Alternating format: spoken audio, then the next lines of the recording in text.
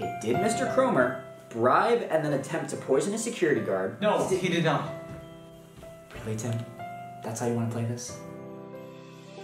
I already told you to go fuck yourself. Damn Tim, I'm trying to help you. ah!